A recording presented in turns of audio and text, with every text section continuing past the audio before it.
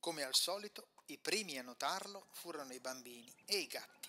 Un grosso micio striato che dormiva su una catasta di legna riscaldata dal sole sussultò, sollevando la testa tonda, abbassò le orecchie, sbuffò e sgattaiolò tra le ortiche. Dragomir, il figlio di tre anni del pescatore Trigla, che sulla soglia di casa faceva del suo meglio per sporcare ancora di più la camiciuola già sudicia, si mise a strillare con gli occhi lacrimosi fissi sul cavaliere che passava. Lo strigo avanzava lentamente sulla sua giumenta, senza provare a superare il carro di fieno che ostruiva la strada. Dietro di lui trotterellava un asino carico, che allungava il collo e dava continui strattoni alla corda fissata all'arcione della sella. Oltre al normale basto, l'animale dalle lunghe orecchie portava in groppa una voluminosa sagoma avvolta in una coperta da cavallo. Il fianco grigiastro dell'asino era ricoperto da nere macchie di sangue rappreso. Il carro svoltò finalmente in una stradina laterale che conduceva a un granaio e a un imbarcadero dal quale la brezza aspirava portando un odore di pece e orina di bue. Geralt accelerò. Non reagì al grido soffocato della venditrice di ortaggi, che fissava gli artigli della zampa ossuta che spuntava da sotto la coperta e che ballonzonava al ritmo del trotto dell'asino. Non si girò a guardare la piccola folla sempre più folla che lo seguiva, ondeggiando in preda all'eccitazione. Come al solito, davanti alla casa del capo villaggio stazionavano numerosi carri. Geralt balzò giù dalla sella, si aggiustò la spada sulla schiena e gettò le briglie sulla piccola staccionata di legno. La folla che lo seguiva si dispose a semicerchio intorno all'asino. Le grida del capovillaggio si sentivano anche all'esterno. Non si può, ti dico, non si può, porco demonio! Non capisci quando ti parlo, canaglia! Geralt entrò. Davanti al capovillaggio piccolo, panciuto e rosso di rabbia, un abitante del borgo teneva per il collo un'oca che si dibatteva. Cosa? Per tutti gli dei, sei tu, Geralt?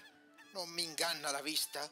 E di nuovo, rivolgendosi al contadino, Portala via, cafone! Sei diventato sordo? Dicevano che bisognava darvi qualcosa, signore, altrimenti farfugliò quello guardando l'oca con la coda nell'occhio.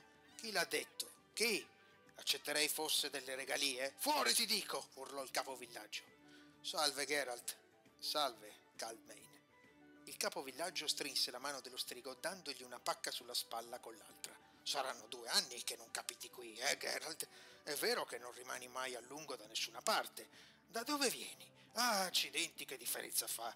Ehi, qualcuno ci porti due brocche di birra. Siediti, Geralt, siediti. C'è confusione, perché domani comincia la fiera. Come va? Racconta. Dopo, prima usciamo. All'esterno la folla era già raddoppiata, ma lo spazio libero intorno all'asino non era diminuito. Geralt sollevò la coperta. La folla lanciò esclamazioni di sorpresa e indietreggiò. Caltmain rimase a bocca aperta. Per tutti gli dei, Geralt! Che cos'è? Una chikimora.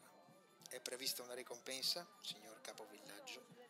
Cadmain spostò il peso da un piede all'altro, guardando la sagoma simile a quella di un ragno, ricoperta da una pelle nera e secca, l'occhio vitreo della pupilla verticale, le zanne come aghi nelle fauci insanguinate. Dove?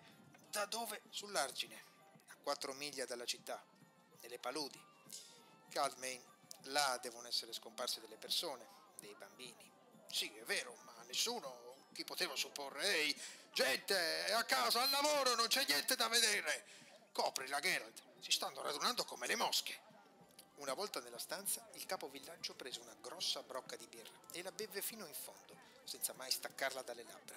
Fece un profondo sospiro, tirando su con il naso, poi disse in tono tetro: Non c'è ricompensa. Nessuno supponeva neppure che qualcosa del genere si annidasse nelle paludi salmastre. È vero che parecchie persone sono scomparse in quella zona, ma erano in pochi a gironzolare sull'argine. E tu da dove arrivi? Perché non percorrevi la strada principale? Sulle strade principali mi è difficile trovare da vivere, Caldmain. Il capovillaggio represse un rutto gonfiando le guance. Oh, dimenticavo. Eppure questa era una zona tranquilla, persino i folletti pisciavano solo di rado nel latte delle donne. E guarda un po', a due passi ti trovi una... Chi, chi come si chiama? Bisogna proprio che ti ringrazi, perché ricompensarti non posso, non fondi. Lo strigo beve un sorso dalla sua brocca e si ripulì la bocca dalla schiuma. Che sfortuna. Mi avrebbero fatto comodo un po' di soldi per passare l'inverno, vorrei andare a Jaspen. Ma non so se ce la farò prima che la neve ostruisca le strade. Potrei rimanere bloccato in una delle piccole città fortificate lungo la strada di Luton. Ti tratterrai molto a Blaviken? Poco. Non ho tempo per spassarmela. Arriva l'inverno.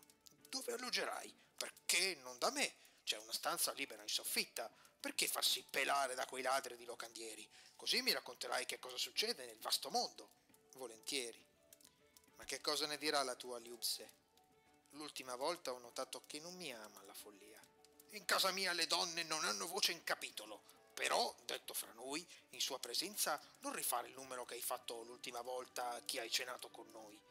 Alludi al fatto che ho lanciato una forchetta contro un ratto? No, alludo al fatto che l'hai colpito, con tutto che era buio. Mi pareva divertente. E lo era, ma non farlo davanti a Lupse. Senti, come si chiama? Quella Kiki Kiki Mora. Ti serve a qualcosa? E cosa dovrei farci? Se non è prevista una ricompensa, puoi anche ordinare di buttarla nell'etamaio. Non è una cattiva idea. Ehi, Carleca! Borg! Nascondi pietra, c'è qualcuno là? Una guardia cittadina entrò nella stanza, urtando rumorosamente la lama della partigiana che portava in spalla contro il telaio della porta. Naso di pietra, fatti aiutare da qualcuno, vai davanti alla casa, porta l'asino e la diavoleria avvolta nella coperta dietro al porcile e buttala nell'etamaio, capito? ordinò Cadmerin ai vostri ordini, ma, signor capovillaggio, che c'è? Forse prima di annegare quell'obrobrio, beh, magari sarebbe il caso di mostrarlo a Mastro Irion. Potrebbe servirgli. Calmerin si batté sulla fronte con la mano aperta. Non sei uno sciocco, naso di pietra. Ascolta, Gerald, forse il mago cittadino ti sgancerà qualcosa per la carogna. I pescatori gli portano ogni genere di strani pesci, octopodi, uh, black laber, Kruglen e hanno anche guadagnato in parecchi. Vieni, andiamo alla torre. Vi siete procurati un mago? Fisso o di passaggio? Fisso, Mastro Irion vive a Blaveken da un anno. Un mago potente, Geralt, te ne renderai conto solo a vederlo. Lo strigo fece una smorfia. Dubito che un mago potente paghi per una chikimora. Da quanto ne so, non serve a fabbricare nessun elisir. Sicuramente il vostro Irion mi coprirà solo di insulti tra maghi e strighi non corre un buon sangue. Non ho mai sentito dire che Mastro Irion abbia insultato qualcuno. Non posso giurare che pagherà, ma tentar non nuoce. Nelle paludi potrebbero essercene altre di quelle chi chi more, e allora che il mago dia un'occhiata al mostro e all'occorrenza getti un incantesimo o qualcosa del genere. Lo strigo rimase un istante sovrappensiero. Un punto per te, Calmerin. E va bene.